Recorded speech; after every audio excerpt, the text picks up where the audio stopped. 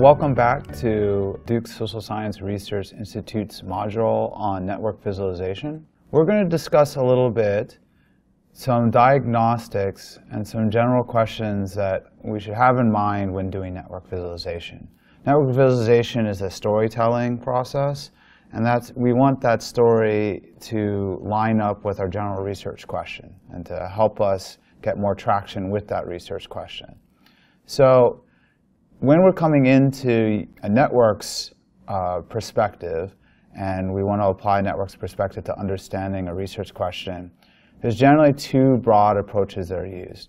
One is to consider networks as a kind of variable in, for instance, a classic regression uh, framework, where the, say it's an individual, has particular network features that make them different from other individuals in the data set. And then uh, this is a feature that then can predict some kind of outcome variable. So for example, um, imagine you're interested in deviant behaviors in schools, and you want to know, well, does being isolated in a school, does that help contribute to a student's likelihood of engaging in a delinquent behavior, right?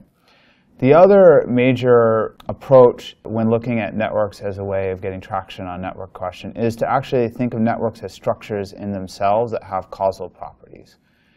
Both approaches leverage two major kinds of features that networks have. So they, meet, they um, leverage connectionist features, basically how the network's wired, and positional features, so unique positions that the nodes occupy that might give us some ideas about the underlying mechanisms that are informing the network and informing our outcome.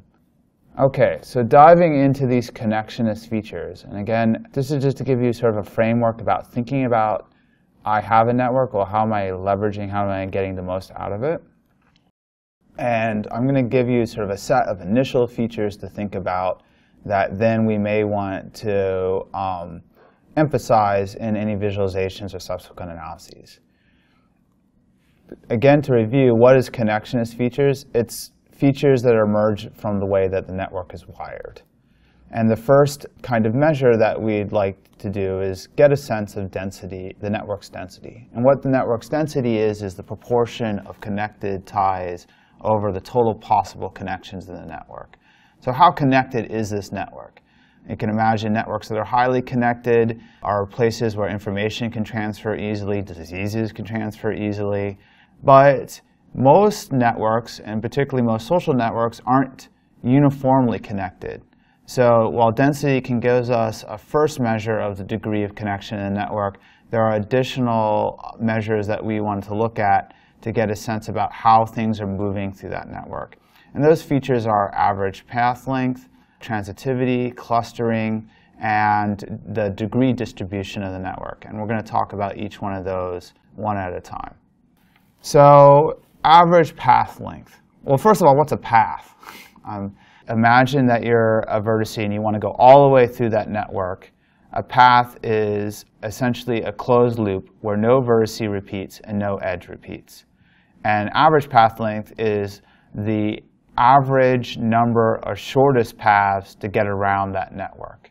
And so what average path length gives us is a sense about how efficiently is information moving through that network. While average path length can be correlated with density, they're not um, a one-for-one -one thing because, for instance, you can have high average path length but a low density. And in a case like that is imagine a world where you have a few very highly connected nodes and everyone else just plugs into them. So imagine your mind a star, for instance, or a, couple of stars connected to each other. So you have these highly central nodes, lots of connections are going into them. They're connected to one another.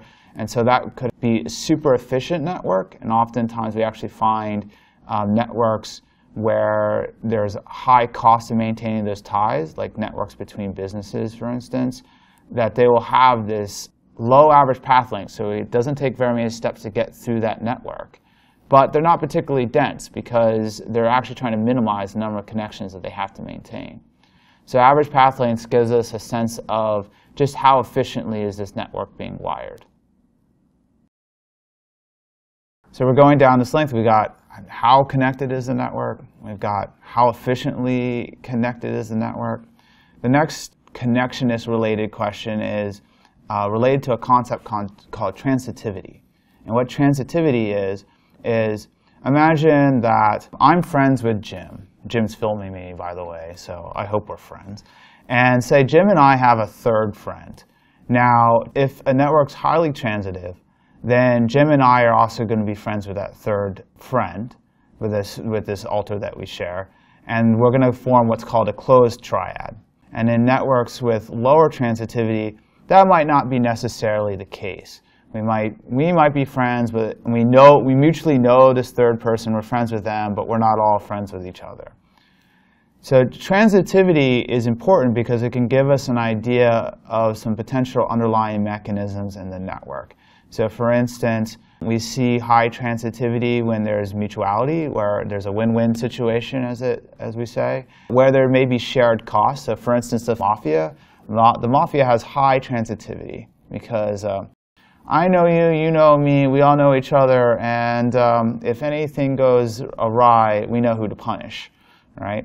Or we have a common enemy a threat. So an enemy of an enemy, we're friends. We have a common enemy, we'll be connected together. We're all connected, but we may be banding together uh, in response to a common threat. Or there may be social sanctioning. So for instance, in societies where there is an institution, for instance, um, say the Catholic Church 50 years ago. If you wanted to be married, you're going to have a nice Catholic marriage.